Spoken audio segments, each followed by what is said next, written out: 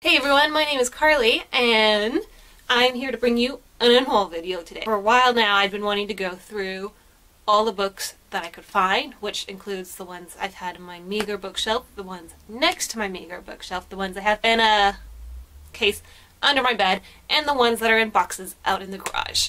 And there's a lot of books, though there are some that are missing, so I don't know what happened to those. So I went through all that a couple weeks ago and I now have a box full of books that I have decided I don't want to keep anymore. And so I'm going to show you guys what those books are. So I'm just going to get right into it. Right here on top, the first one I can see is um, Eclipse. I think it's the third one in the Twilight series. I remember I gave, well we had a garage sale a couple years ago and I remember I put them out there because um, I just don't want them anymore. I don't like them. I liked them when I first read them. I didn't like them any time after that. Uh, and I still have Eclipse sitting around, so I have no need for it. I kind of just want to get rid of it. Next one I have was The Ice Cream Queen of Orchard Street. This was a book I picked up over the summer because it sounded so cool. Like, it it's still a story I want to read. Yet, I hated the main character. I DNF'd this this year. I, like, hated the main character. Yeah, she was the narrator the main character.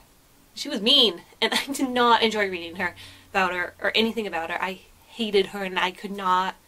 When I DNF'd, it was just I could not get past it. I could not go. Next ones I have are these kind of Christian middle grade things. I think my grandma gave me when I was really young. Elise's Endless Wait, Elise's New Life, and Elise's Impossible Choice. I don't know, not my thing.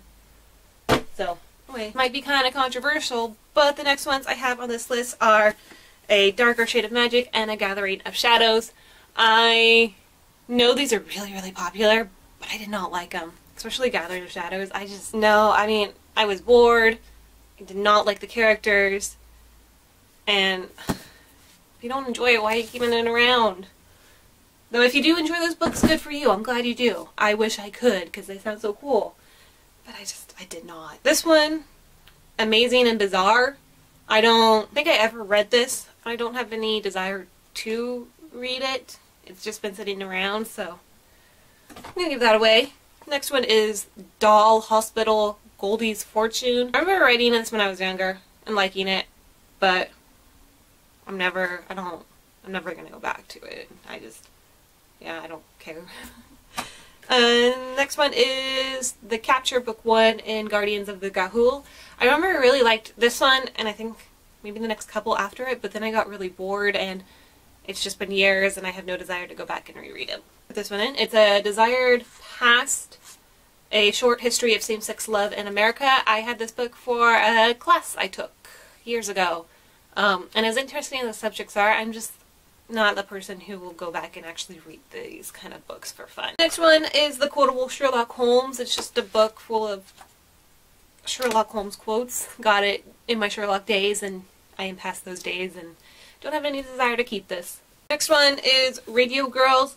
Uh, it's about female people working in the BBC in the 20s. It was okay. Nothing spectacular. No reason to keep it. This one is The Lovely Bones. I liked it. I did. I really liked it. I just don't see myself ever rereading it. Um, it's really dark and sad. And I'm just not, I haven't been in the mood for that and I'm not going to and it was just a hard read and I don't want to reread it. Another one is Suite Française. Uh, yeah, Française. It's about different people during World War II. It was, it was good. I remember I liked it. I just, again, don't see myself ever rereading it. These next ones, it's um, Divergent and Insurgent. My uncle let me borrow Divergent, and it was okay. And then I was on a camping trip, and I finished all the books I had brought with me, including Divergent, so I went out and bought Insurgent just to give myself something to do. I didn't really care for them. They're, nah, they they were fine. I don't know, nothing I ever really want to read. It's not really my type of thing. Um, I have the Sweetheart. It's about this girl in the 50s who decides she wants to be a wrestler. It was okay. Again, just okay. Nothing I was really blown away from. It was, eh. Again, kind of controversial, but it's the Miss Peregrine Home for Peculiar Children trilogy. Uh, one of my first videos I made was talking about these, and if you watch that, then you'll know I just didn't like them. They were.